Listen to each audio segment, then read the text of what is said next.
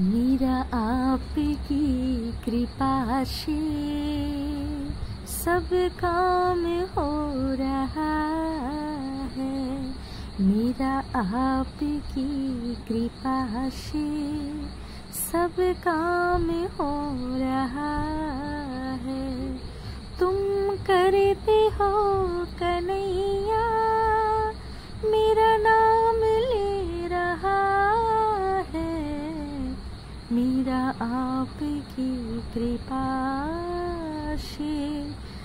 काम हो रहा है তো মহাপ্রভুর ইচ্ছেতেই বলুন বা মহাপ্রভুর কৃপাতেই বলুন গুরুকুঞ্জ আশ্রমে সবাই আমরা খুব ভালো রয়েছি আর আশা করি মহাপ্রভুর কৃপাতে আপনারাও সবাই ভালো রয়েছেন তো আজকে আমাদের শ্রীধাম গুরুকুঞ্জ আশ্রমে দেখুন কর্মের পুরো ভিড় লেগে গেছে তো সেটা এই কারণেই কারণ কালকে আমাদের একাদশী বাসও রয়েছে তো অনেক ভক্তের আগমন ঘটবে, তো সেই জন্য সেই আনন্দেই কিন্তু এত কর্মের ভিড় লেগেছে। তো এখানে এই যে সব ভাইরা দেখুন কাজ করছে, আর এ তো হচ্ছে শুভানন্দ। আপনাদেরকে বলি, শুভানন্দ হচ্ছে কিন্তু একজন স্কুল টিচার, হাই স্কুলের একজন স্কুল টিচার। তো উনি দেখুন স্কুল টিচার হয়েও কিন্তু আশ্রমের সেবা কাজে নিপুণভাবেই কাজ করে। তো এটা কিন্তু কোনো লজ্জার না, এটা অনেকটা গর্বের। ভগবান আমাদের জন্ম থেকেই একটা কর্মক্ষমতার শক্তি যোগান দিচ্ছে সারাক্ষণ। যেই শক্তি নিয়ে আমরা সংসারের এত কাজ করে ফেলি, নিজের জন্য কত কিছু করে ফেলি, ছেলে মেয়েদের জন্য কত কিছু করি, তার মধ্যে যিনি শক্তির যোগান দিয়েছে, তেনার কাজের কথা আমরা ভুলেই যাই। আর আশ্রমে কিন্তু সেটা হবে না।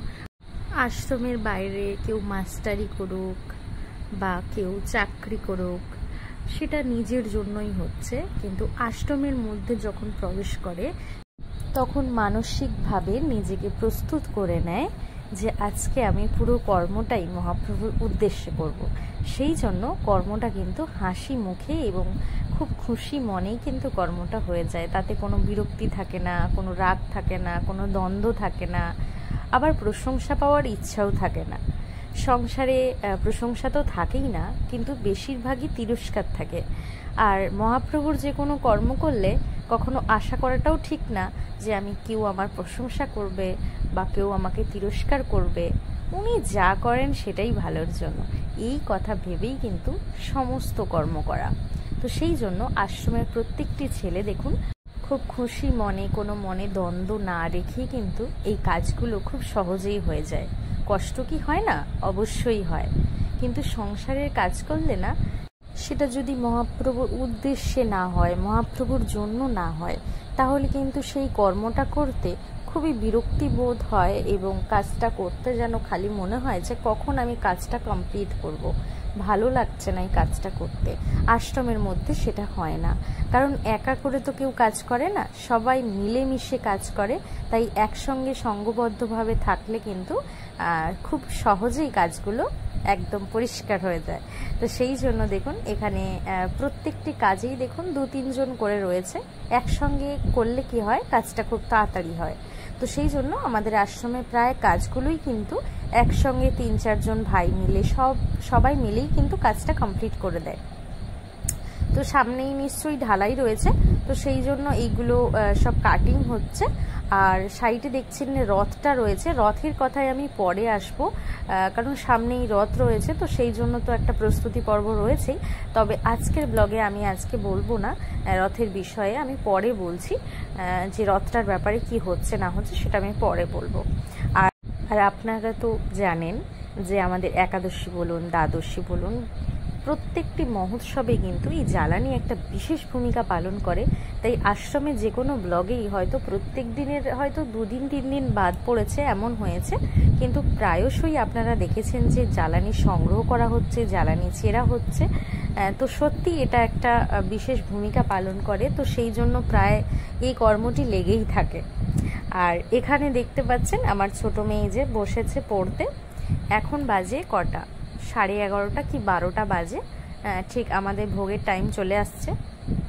তো বাইরে এত রৌদ্র, এত তাপ, তো সেই জন্য দেখুন রুমের ভেতরে ওকে নিয়ে বসেছি আমি একটু পড়াশুনো করানোর জন্য, কারণ সামনেই স্কুল খুলে দিচ্ছে ভোট ঘটনা তো হয়েই যাচ্ছে প্রায় তো সেই জন্য স্কুল খুলে যাচ্ছে।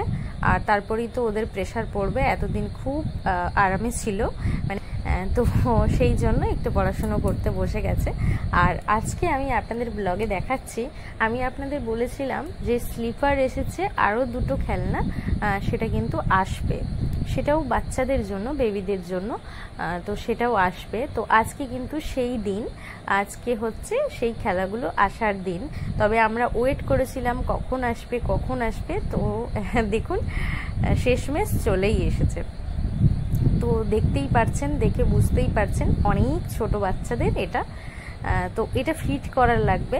তবে আজকে ফিট করে আজকেই হয়তো ব্যবহার করা যাবে না। হয়তো মানে ব্যবহার করা যাবেই না। ওটা হয়তো ঠিকঠাক করে। কালকেও চড়া যাবে কিনা আমি ঠিক বলতে পারছি না। তবে কালকে হয়তো ব্লগে বুঝতে পারবেন চড়া যাবে কিনা। তবে আজকে একদম বিকেল পাঁচটা, ছটা অবধি ঠিক করেছিল দেখলাম।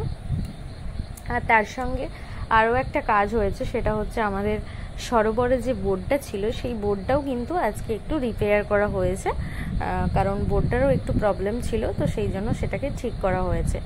এত বৃষ্টি হচ্ছে, কোথাও জল লিক করছে বা কিছু একটা সমস্যা তো হয়েছিল, তবে সেটাও কিন্তু ঠিক করা হয়েছে। আর বাগান চত্বরের একদম এক সাইডের দিকেই কিন্তু এই খেলাগুলো রেখেছে। যাতে করে কি হয়, একটা সাইডেই ব্লক থাকে, তিনটে খেলনা চলে আসে একটা সাইডে ব্লক থাকে আর ওই দিকের জায়গাটা অনেকটা লং জায়গা, সেটা পাওয়া যাবে।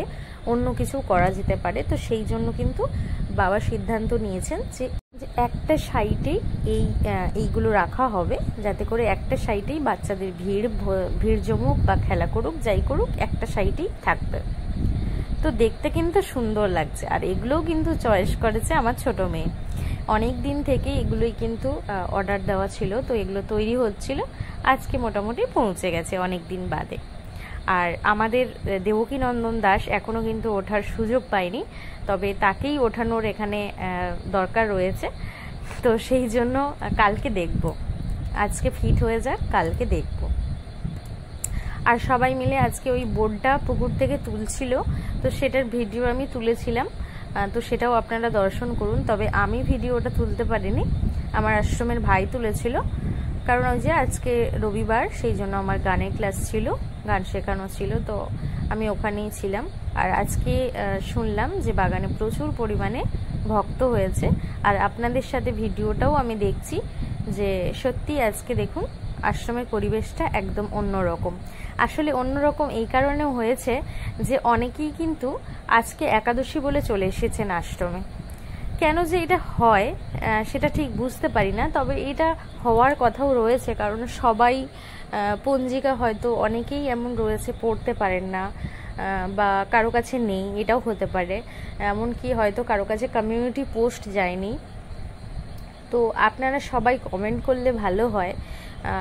যে আপনাদের কাছে কমিউনিটি পোস্ট যাচ্ছে তো, যে একাদশী কবে হচ্ছে পারণ কবে হচ্ছে, বা যে কোনো অনুষ্ঠানের আপডেট আপনাদের কাছে পৌঁছচ্ছে তো তো আপনারা সেটা কমেন্ট বক্সে কমেন্ট করলে আমি বুঝতে পারব যে পৌঁছচ্ছে কি না আমি তো এখন বুঝতে পারছি না যে সবাই আদৌ একাদশীর আপডেটটা পাচ্ছেন তো না হলে কি করে এই ভুলটা হচ্ছে যে আমাদের তো সোমবার বাসর, তো কি করে রবিবার সবাই জানকারি হয়ে যাচ্ছে যে রবিবার? তবে এটা অনেক অনেক জায়গাতে রবিবার হচ্ছে, তো সেই কারণেও হতে পারে যে ওনাদের ধারণা যে আজকে হচ্ছে। এবার এই ধারণাটার উপর ডিপেন্ড করাটা ঠিক না, কারণ আমাদের দুইভাবে হয়। অনেকেই রবিবার করেন, আবার অনেকেই সোমবারও করে থাকেন। তো এক্ষেত্রে বলব যে যেনারা একাদশী করছেন, তেনাদেরকে সিদ্ধান্ত নিতে হবে যে আমরা কোন জায়গার পঞ্জিকা থেকে আমরা একাদশীটা করব। কোন জায়গার পঞ্জিকার ডেট অনুযায়ী আমরা চলব তো সেক্ষেত্রে হলে কি হবে তাহলে আপনারা সঠিক ডেটে পৌঁছতে পারবেন সেটা যেখানেই হোক, সেটা ইস্কন হতে পারে বা কোনো যে কোনো আশ্রম হতে পারে। দেখবেন আশ্রম রয়েছে মানে তেনাদের পঞ্জিকা রয়েছে, তেনাদের অনুষ্ঠান সূচি রয়েছে। তো এগুলো কালেক্ট করা দরকার রয়েছে। এগুলো কালেক্ট করলে কি হয়, আপনারা অনেক অনুষ্ঠান হয়তো অ্যাটেন্ড করতেই পাচ্ছেন না। কিন্তু পঞ্জিকা থাকলে কি হবে? আপনাদের এই ফুলটা হবে না। আপনারা কিন্তু যথা সময়ে একদম ঠিকঠাক দিনেই কিন্তু পৌঁছবেন। এই ভুলটা আর হবে না। যদি ইস্কনের থেকে আপনি দীক্ষিত হন বা ইস্কনে যদি আপনি ইস্কনের মত অনুযায়ী একাদশী করেন, তাহলে ওখানের মত অনুযায়ী চলুন, তাহলে আপনার ক্ষেত্রেই ভালো হবে। প্রত্যেকটি একাদশী আপনি গুরুর আদেশে পালন করছেন, তো আপনার আর চিন্তার কিছু থাকবেই না। কিন্তু এমনও রয়েছে না যে একাদশী করে আশ্রমে এসেছেন, কিন্তু এসে হরিবাসরে আপনারা সাধুসঙ্গ করতেই পারলেন না, হরিকথা শুনতে পেলেন না। এতে করে সত্যিই খারাপ লাগে যে আশা করে অনেকটা আশা করে এসেছেন। তো সেই জন্য দেখুন, আজকে রবিবার, আজকে আশ্রমে প্রচুর ভিড় জমেছে। একাদশী মনে করেই কিন্তু অনেকে চলে এসেছেন। কিন্তু আমাদের তো কালকে হরিবাসর, আজকে তো হচ্ছে না। তো সেই জন্য আর কি, তো বিকেলের পরিবেশটা ঠিক এমন ছিল। আর এই যে এখানে সবাই মিলে দেখুন বোর্ডটাকে তুলছে। আসলে বোর্ডটা কিন্তু অনেকটাই বড়। তো সেই জন্য এত জন মিলে ধরতে লেগেছে। দেখুন কত জন রয়েছে। এক, দুই, তিন, চার, পাঁচ, ছয়, সাত, আটজন রয়েছে। আটজন রয়েছে। আটজন মিলে বোর্ডটাকে তুলেছে। যাই হোক, ওখানে বোর্ডের ওখানেই কাজ করে আবারও কিন্তু বোর্ডটা জলে ভাসিয়ে দেবে। ছোট্ট একটা অসুবিধা হয়েছে, তো সেটা আবার ঠিক করে দেবে। আর প্রচুর পরিমাণে বৃষ্টি হওয়ার জন্য আমাদের সরোবরটা একদম সুন্দর হয়ে গেছে। মানে সরোবরে জল না থাকলে কি আর মানায়? তো সেই জন্য জল হয়েছে বলেই এত সুন্দর দেখাচ্ছে।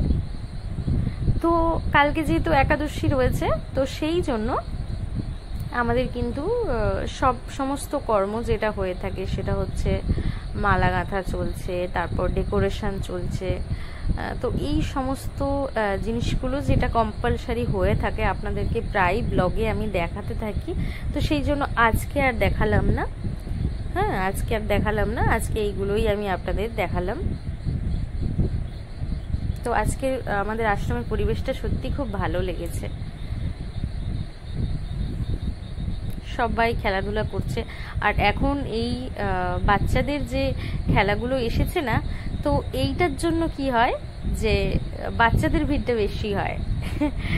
একদম পার্কিং টাইপের হয়ে গেছে তো। তো সেই জন্য বাচ্চাদের ভিড়টাই দেখুন বেশি। তারপরে ঘাস রয়েছে খেলতে আরও ভালো সুবিধে।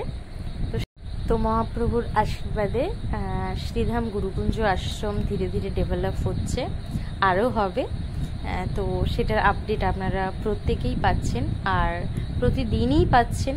যে আশ্রমে কী হারে কর্ম চলছে, কতটা ডেভেলপ হচ্ছে, কত বড় জায়গা হচ্ছে, তো সবটা আপডেট কিন্তু আপনারা পাচ্ছেন। তো এইভাবেই আপনারা পাশে থাকুন। তো চলুন দেখতে থাকুন। হরে কৃষ্ণ।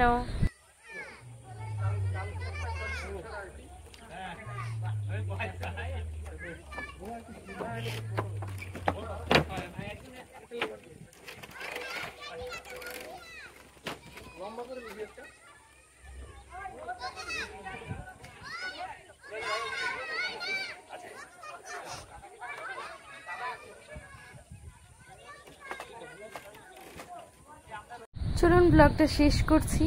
কন্টিনিউ ব্লগটা চলছে। তো এইবার আমি কমপ্লিট করলাম। আবারও নতুন ব্লগের সঙ্গে দেখা হচ্ছে। ততক্ষণ ভালো থাকুন, সুস্থ থাকুন। হরে কৃষ্ণ।